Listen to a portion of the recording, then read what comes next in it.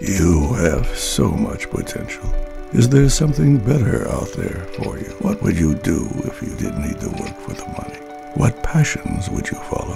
What dreams would you make come true? There will always be others who tell you what they think you should be. Don't sacrifice your potential. Don't wait for the perfect moment or for life to settle down. Now is the time to seize your potential. Now is the time to start.